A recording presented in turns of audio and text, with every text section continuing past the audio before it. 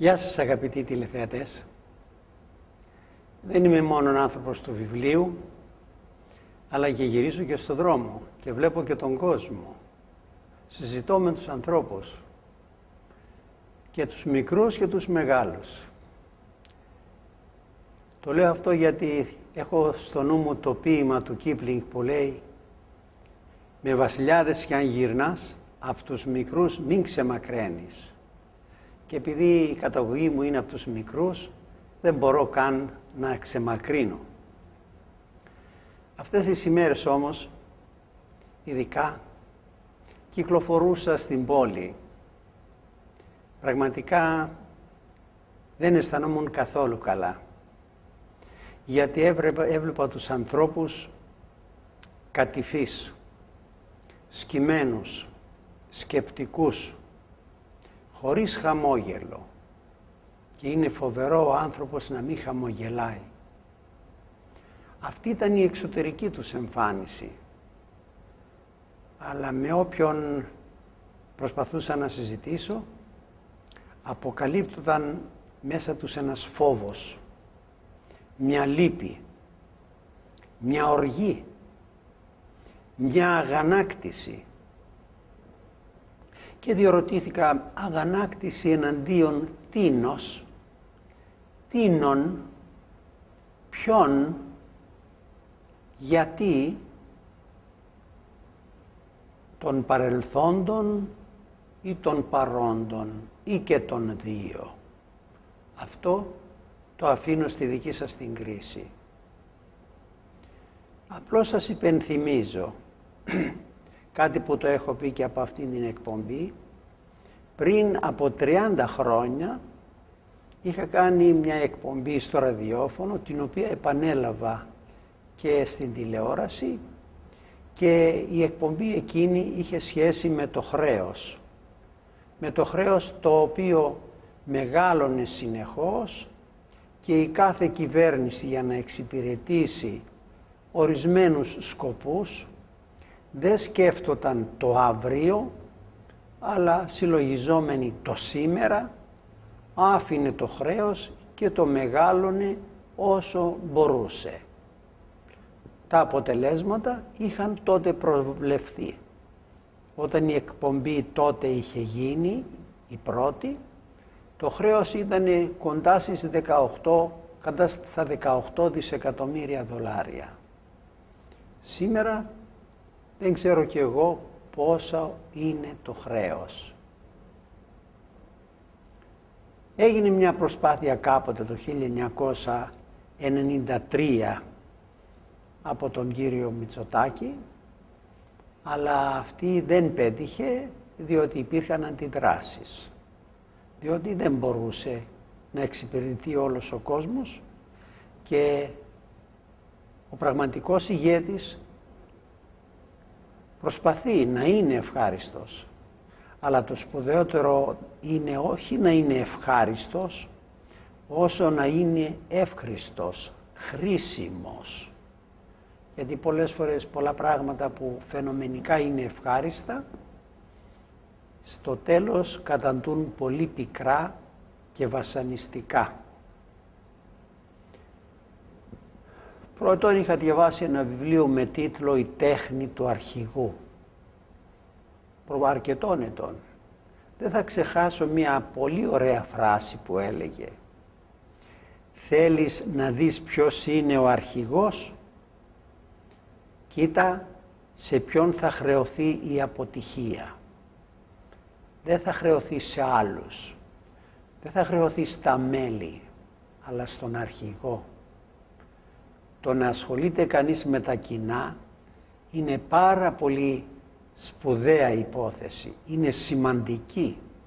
Είναι αποφασιστική σημασίας και για εκείνον που κυβερνάει, για εκείνον που έχει τα ενία, αλλά και ιδίως και κυρίως και προπαντός για αυτούς οι οποίοι βρίσκονται κάτω από την επίβλεψη του αρχηγού. Και βέβαια στη ζωή μας όλοι σε κάποιο σημείο είμαστε αρχηγοί. Εγώ είμαι στην οικογένειά μου, εσύ είσαι στο λόγο, ο άλλος είναι στην τάξη του σχολείου του, ο άλλος είναι στο Δημαρχείο, ο άλλος στην περιφέρεια, ο άλλος είναι σε κάποιο εκπαιδευτικό κέντρο, στο καράβι, στο αεροπλάνο, στην θέση του Πρωθυπουργού. Η κοινωνία χρειάζεται αρχηγούς μικρούς και μεγάλους.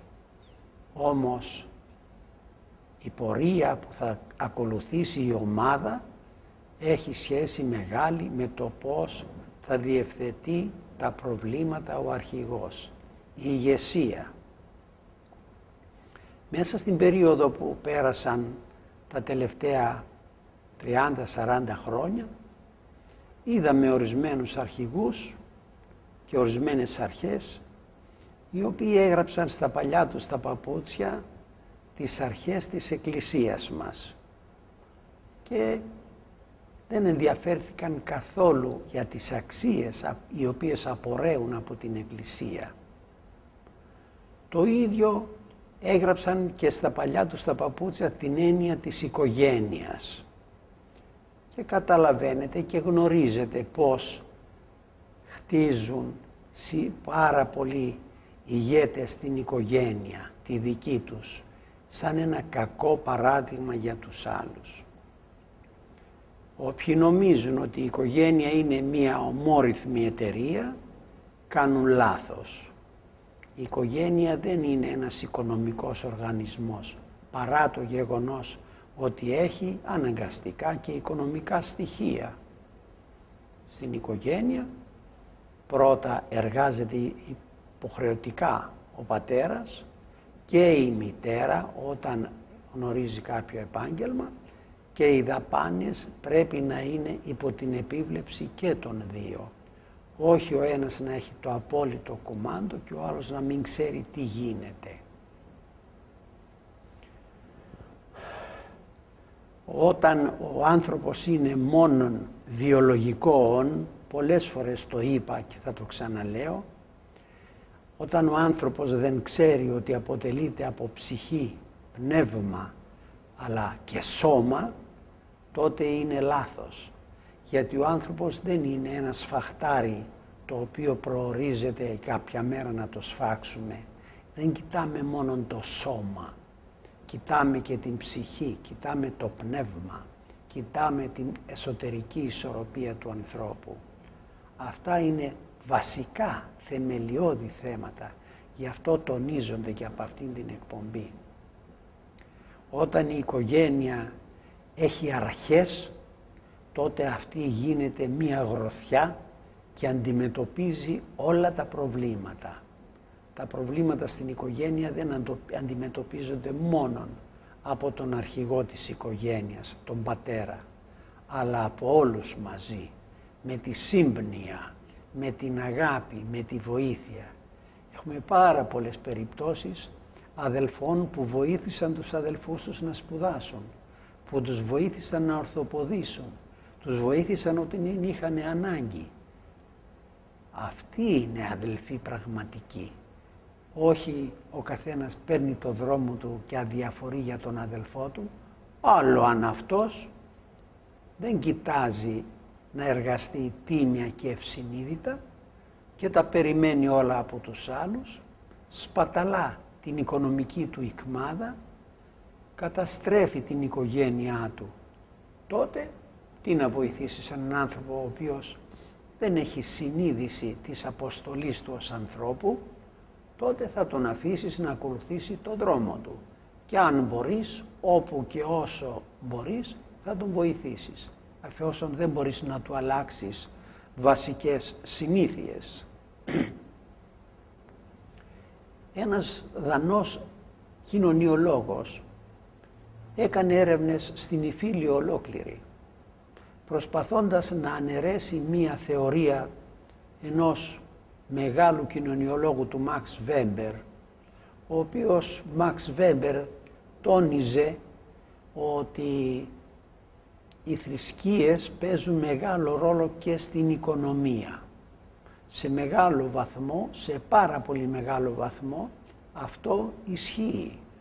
Παραδείγματος χάρη, άκουγα έναν Γερμανό επιχειρηματία ο οποίος είχε πάει στις Ινδίες και είχε στήσει μια υψηκάμινο και όταν χτύπησε ο Μοεζίνης το σύνθημα για προσευχή έπεσαν κάτω και άρχισαν να προσεύχονται οι άνθρωποι. Μα τους λέει το σίδερο είναι κα, καυτή λάβα και τρέχει. Πρέπει να την κατευθύνετε που θα πάει; Α, εμείς τώρα προσευχόμαστε. Καταλαβαίνετε ότι αυτού του είδους η νοοτροπία είναι αντιπαραγωγική. Δεν είναι σωστή. Ο, ο Δανός λοιπόν δημοσιο, ε, κοινωνιολόγος έκανε μια παγκόσμια έρευνα και κατέληξε στην Ιαπωνία. Μελετώντας την Ιαπωνία διεπίστωσε ότι η, η οικονομία της Ιαπωνίας δεν είναι βέβαια ούτε θέμα θρησκευτικό διότι δεν είναι ούτε χριστιανοί ούτε μουσουλμανικό αυτοί έχουν άλλες θρησκείες και μάλιστα αυτοί έχουν τη δυνατότητα να βαφτίζονται σε μία θρησκεία και να παντρεύονται με τους κανονισμούς μιας άλλης θρησκείας. Υπάρχει μια περίεργη, ας το πω, αντίληψη για τις θρησκευτικές τους υποχρεώσεις. Όμως, η οικονομία της Ιαπωνίας οφείλεται βασικά σε δύο πράγματα. Πρώτα, αντιλαμβάνονται ότι η εργασία είναι ιερή. Όποια εργασία και όποια, όποιο κάνει κανείς, διότι αυτή εξασφαλίζει τη ζωή του ανθρώπου. Εκτός αυτού, η πρόοδος ενός ανθρώπου οφείλεται και στο δέσιμο της Ιαπωνέζικης κοινωνίας, της οικογένειας. Όταν η μητέρα το πρωί στέλνει το παιδί της να μάθει ένα επάγγελμα ή γράμματα, του λέει πρόσεξε μην εξευτελίσεις την οικογένειά μας. Πρέπει να γίνεις αντάξιος των αρχών της οικογένειάς μας. Θα κάνεις τα πάντα ώστε να γίνεις ανώτερος και από τον πατέρα σου και από μας όλους. Και βάζουν τα δυνατά τους οι Ιαπωνέζοι και βλέπετε το Ιαπωνικό θαύμα μέσα στη διάρκεια των χρόνων πώς βρίσκεται τόσο ψηλά. Η οικονομία λοιπόν. Η οικογένεια όπως είπα προηγουμένως δεν μπορεί να εξασφαλίζει μόνο το ψωμί. Αυτό είναι λάθος. Η οικογένεια ταυτόχρονα δίνει και αγωγή στα μέλη της. Η αγωγή αυτή συμπεριλαμβάνει πολλά πράγματα μεταξύ των οποίων και το πείσμα στον αγώνα. Θα αγωνιστείς όποια προβλήματα και αν βρεις στη ζωή σου. Μην απογοητεύεσαι. Μη φοβάσαι. Τόλμα. Αγωνίσου. Προσπάθησε. Μη σταματάς. Βρες άλλους δρόμους. Πάντως μην κάθεσαι και νιώθεις μυρολάτρης. Όχι. Δεν υπάρχει. Η μοίρα είναι στα χέρια σου. Αν μπορείς, αν θέλεις, θα, κάτι θα πετύχεις. Και όπου υπάρχει ένα θέλω, υπάρχει και ένας δρόμος. Το μεγάλο θέμα της οικονομίας, ειδικά των ημερών μας, είναι ένα τεράστιο θέμα για το οποίο πολλές φορές κάναμε λόγο υπάρχει μία αυταπάτη, αυταπάτη της αυτάρκειας. Κανένα κράτος δεν είναι αυταρκές. Όλα τα κράτη σε μεγάλο βαθμό εξαρτώνται από τα άλλα κράτη. Η φτώχεια ενός κράτους μπορεί να έχει πολλά αίτια, αλλά και η ευημερία ενός κράτους έχει πολλά αίτια. Κανένα κράτος δεν θέλει και δεν πρέπει να απομονώνεται.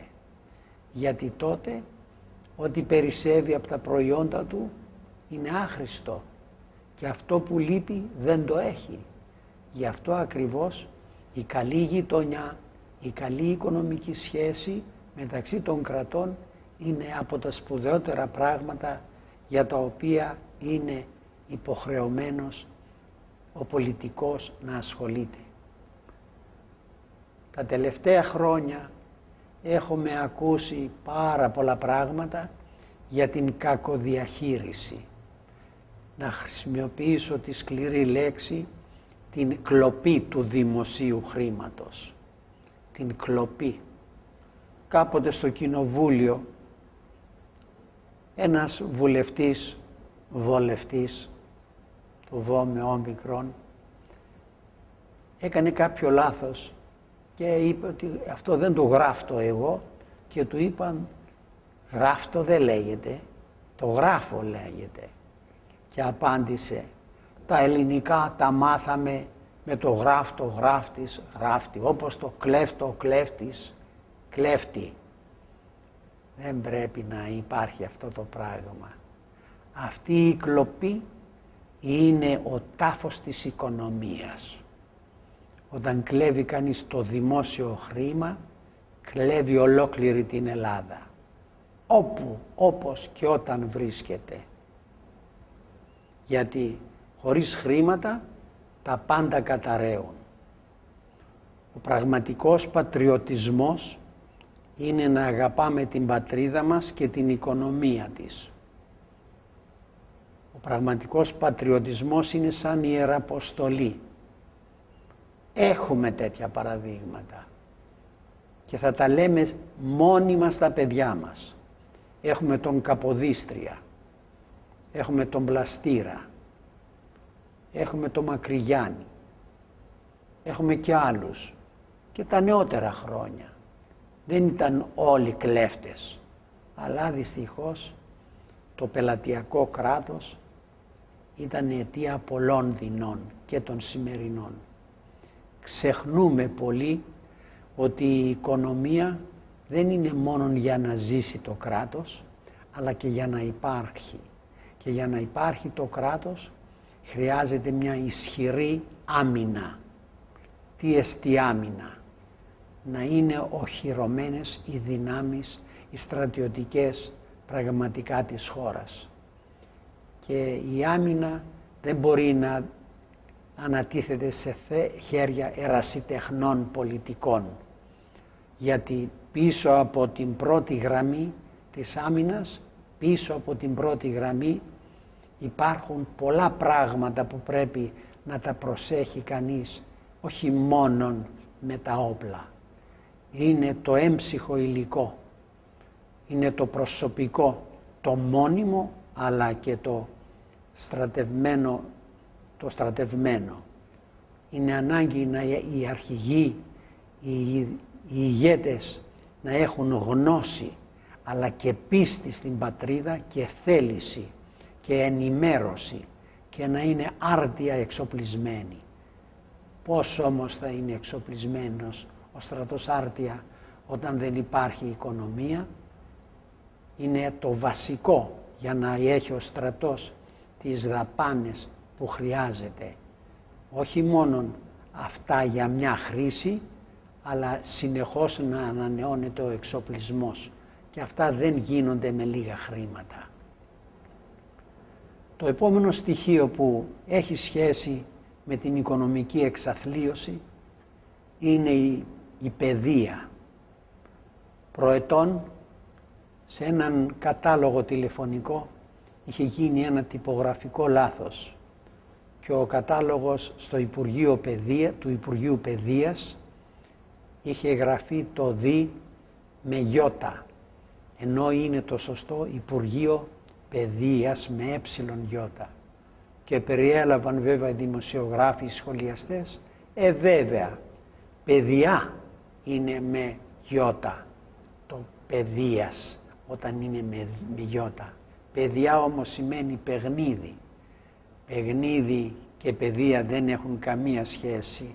Άλλο το ότι το παιχνίδι προέρχεται από το παίζω των παιδιών, τα παιδιά που παίζουν. Στην χώρα μας έχουμε την παραπαιδεία που είναι δίπλα στην παιδεία και αλίμονος σε αυτούς που δεν έχουν χρήματα να στείλουν τα παιδιά τους στην παραπαιδεία. Αν δεν υπάρχουν χρήματα τότε θα προηγούνται πάντοτε αυτοί που έχουν χρήματα και στέλνουν τα παιδιά τους σε καλύτερα σχολεία και σε καλύτερα φροντιστήρια και θα διαιωνίζεται η άρχουσα τάξη. Και τα πλουσιόπαιδα έχουν τρόπους να κρατηθούν. Τι γίνεται με τα φτωχόπαιδα. Τα πλουσιόπαιδα μπορούν να φύγουν και στο εξωτερικό, πληρώνοντας και να πάρουν πτυχία από εκεί και να έρθουν εδώ και να πάρουν τις καλύτερες θέσεις.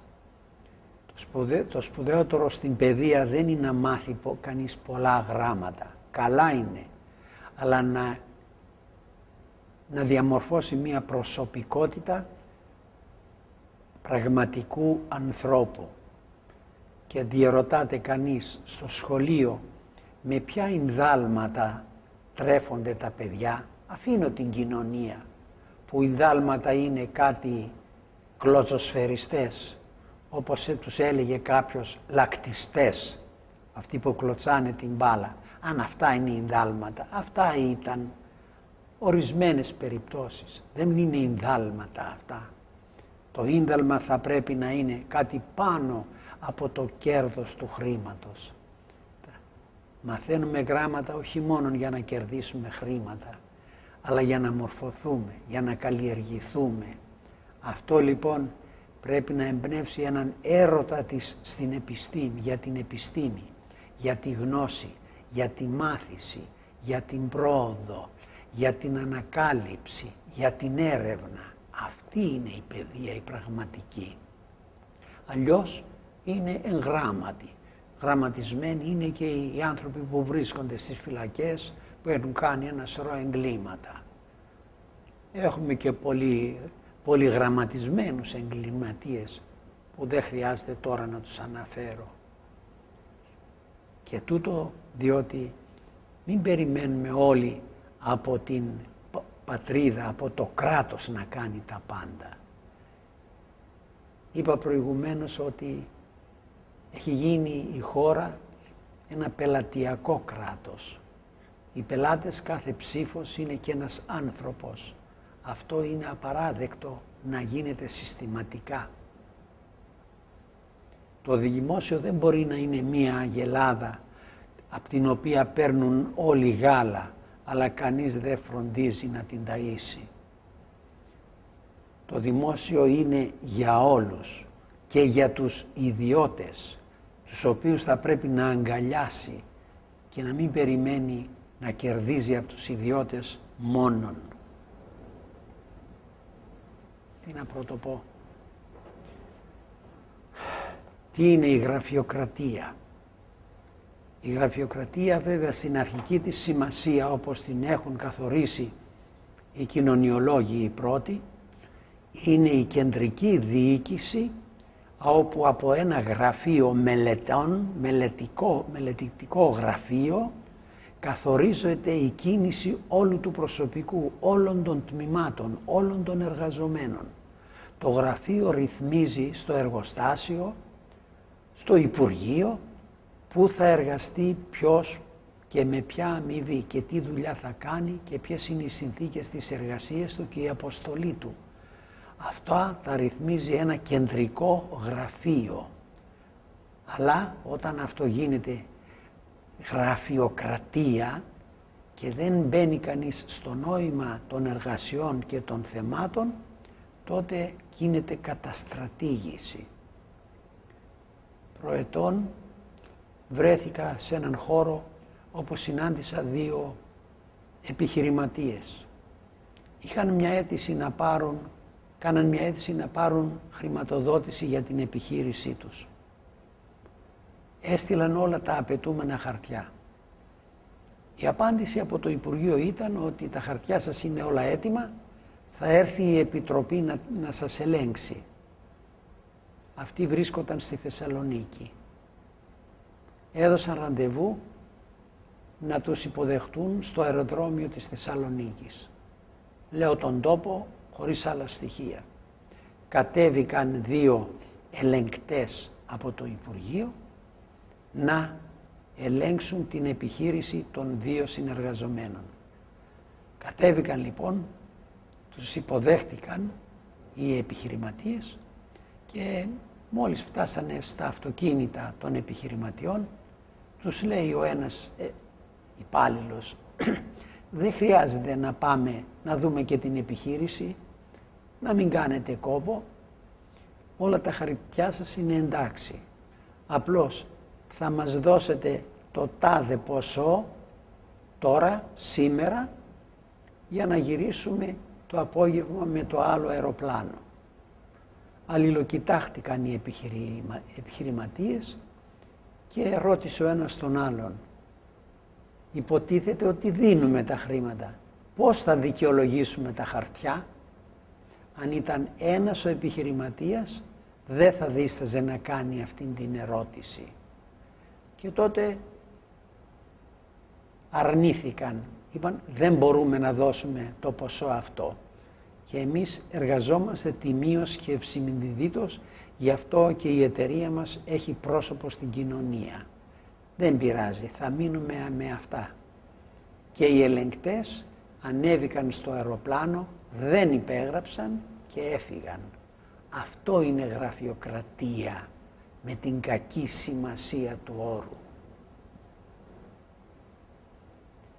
Προχωρώ για την οικονομία του τόπου, για τον πολιτισμό του τόπου. Χρόνια από τότε που δημοσιογραφώ έγραφα ότι κάποτε θα πρέπει να σταματήσει κάποιος να διορίζεται επειδή γνωρίζει κάποιον πολιτικό. Εγώ που είμαι ανεξάρτητος και δεν ανακατεύω με τα κόμματα, πότε θα διοριστώ, δεν πρέπει ποτέ να διοριστώ. Με συγχωρείτε που δεν γλύφω ποδιές, που δεν κάνω τεμενάδες σε κάποιον πολιτικό και επέμεινε ότι κάποτε πρέπει να γίνει μία επιτροπή που να εξετάζει. Έγινε το ΑΣΕΠ. Ειλικρινά το χαιρέτησα. Και κάποια χρονιά έλαβα μέρος ως εξεταστής. Τότε διεπίστωσα ότι έπρεπε να γίνει αυτό. Έπρεπε να γίνει γιατί πολλοί από τους υποψήφιους ήταν τελείως ακατάλληλοι για τις θέσεις για τις οποίες προορίζονταν. Αυτοί λοιπόν με ένα πολιτικό μέσο θα έπαιρναν θέσεις που δεν τους άξιζαν. Και προχωρώ δυστυχώς. Έχουμε το ΑΣΕΠ και μαθαίνω τι.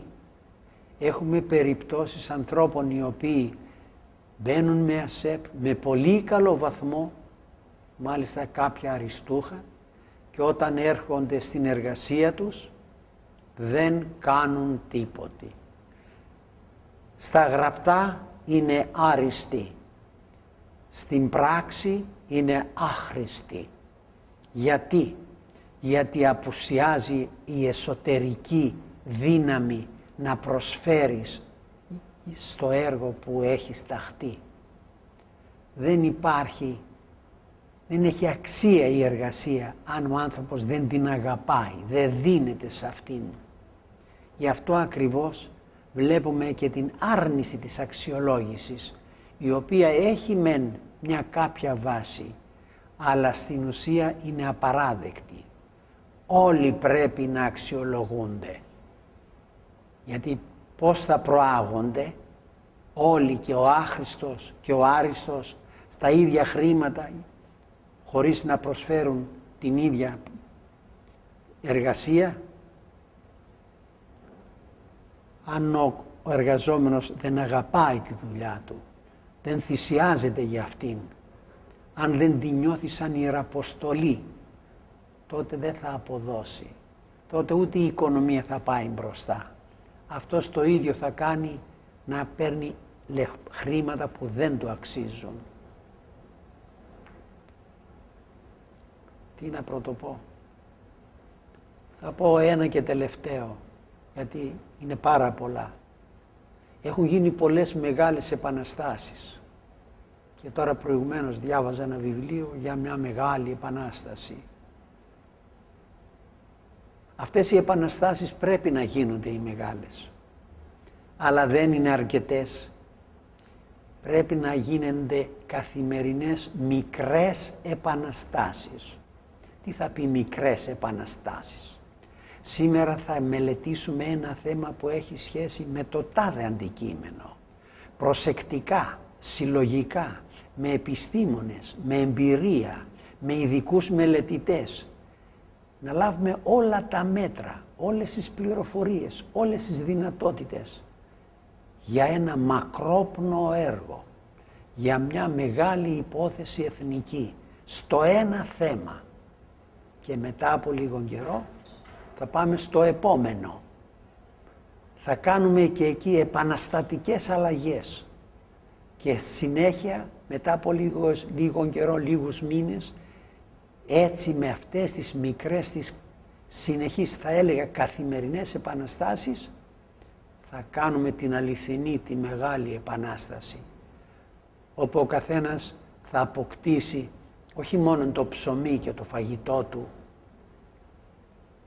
και δεν θα ντρέπεται να κυκλοφορεί στον δρόμο και δεν θα κάθεται στις ουρές για να πάρει 60 και 50 ευρώ αλλά θα έχει το κεφάλι του ψηλά, θα έχει την αξιοπρέπειά του σίγουρος ότι τα χρήματα που παίρνει του ανήκουν και δεν θα, υπάρχουν, δεν θα υπάρχει κανένα εμπόδιο αλλά για να γίνει αυτό χρειάζονται μικρές επαναστάτησεις και οι επαναστάσεις δεν γίνονται με τα ψέματα Πολλές φορές ακούω τη λέξη δημοκρατία. Θα κάνω μία σειρά ολόκληρη εκπομπών για τη δημοκρατία. Έχει γίνει μια καραμέλα την οποία δεν ξέρουμε πώς παρασκευάζεται. Δημοκρατία δεν είναι ένας κενός λόγος. Είναι ένα καθημερινό άθλημα από όλους τους πολίτες. Από τον ανώτατο μέχρι τον τελευταίο πολίτη. Αυτή είναι η δημοκρατία όταν δεν εμπέζει ο ένας τον άλλον, όταν δεν εμπέζει αυτός που εργάζεται τον εργοδότη, ούτε ο εργοδότης επιτρέπει απλώς την ύπαρξη του εργαζόμενου. Δημοκρατία σημαίνει σέβομαι τον εαυτό μου και τους άλλους. Είμαι πολίτης της πατρίδας και πολίτης όλου του κόσμου. Αγαπώ την πατρίδα μου, αλλά δεν βλαστημώ τον ξένο που έχει και εκείνος την πατρίδα του. Αυτά για σήμερα. Θεού θέλοντος, την άλλη εβδομάδα θα τα ξαναπούμε. Γεια σας.